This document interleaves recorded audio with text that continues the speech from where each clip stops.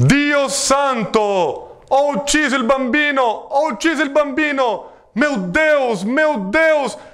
Eu matei o menino! Eu matei o menino! Ho ucciso il bambino! O santo, atônito, assustado, quase desesperado, se colocava o problema: morreu ou não?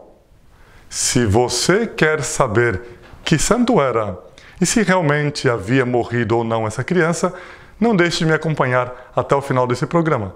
Eu sou o Padre D'Artagnan dos Arautos do Evangelho e você está me acompanhando aqui na TV Arautos, no programa Caminhando com Santos. Vamos ao nosso gregoriano, dedicado a Nossa Senhora, e depois continuaremos essa história um pouco misteriosa.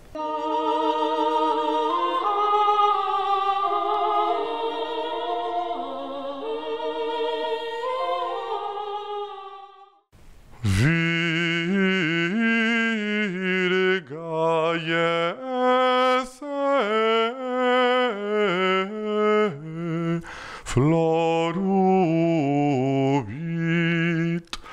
virgo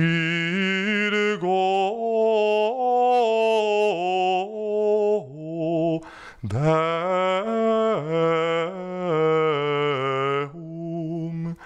et hominem genus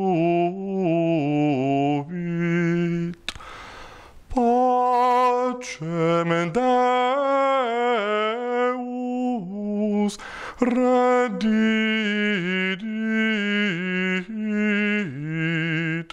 in serre concilians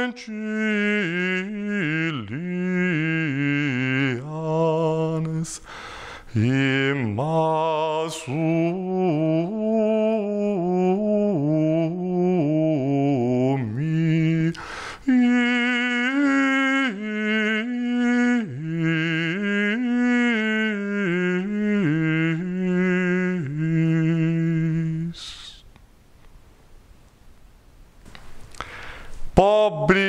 São Pio de Pietrelcina.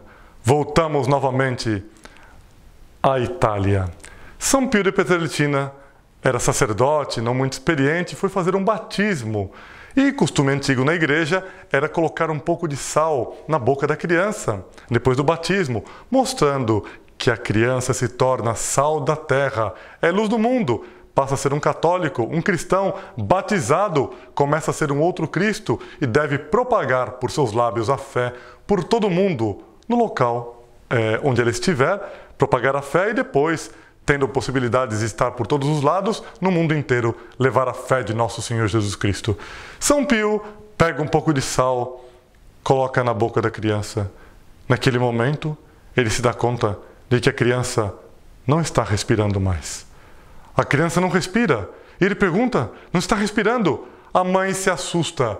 A mãe começa a chorar. As pessoas na igreja se assustam. Será que morreu o menino? Morreu o menino! E São Pio dizia: Ho ucciso il bambino! Ho ucciso il bambino! Eu matei a criança! Eu matei a criança! E fica assustadíssimo. A criança começa a mudar de cor.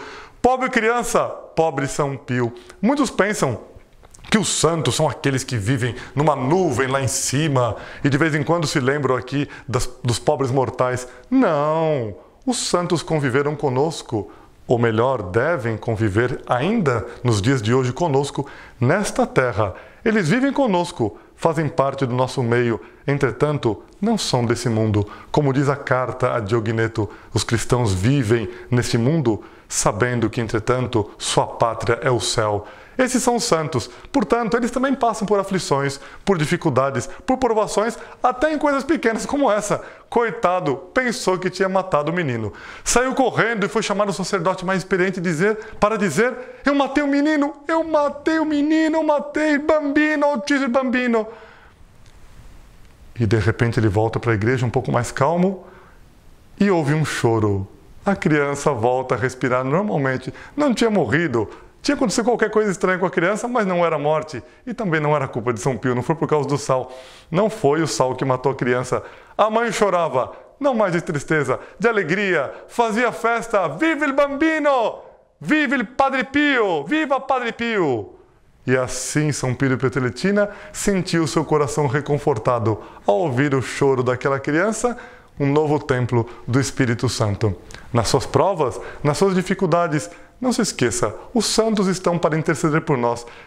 Peçam a São Pio, peçam sua ajuda eu tenho certeza que Ele intercederá por nós junto a Nossa Senhora e nos alcançará tantíssimas graças. Ele que tantos milagres e graças já alcançava na terra, imaginem só o que pode fazer Ele da eternidade. Vamos pedir a São Pio essa proteção para a sua família, para você que me ouve, ainda mais nesse período que estamos passando de grande dificuldade, essa questão do coronavírus que se expande por vários lugares.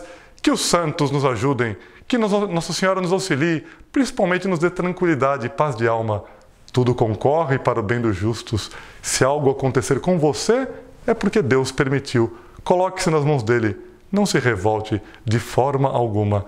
Deus cuida de nós como nós não podemos imaginar. Por isso diz nosso Senhor que nenhum só fio de cabelo de nossa cabeça cai sem que o Pai saiba. Portanto, vamos pedir o auxílio de Nossa Senhora, dos santos, a proteção do Sagrado Coração de Jesus. Tranquilidade, fé, confiança, amor a Deus, igual à eternidade feliz. Vamos então à bênção final para encerrar esse nosso programa e você sabe, hoje rezarei por você. Que a bênção de Deus Todo-Poderoso, Pai e Filho e Espírito Santo, desça sobre vós e permaneça para sempre. Amém. Salve Maria.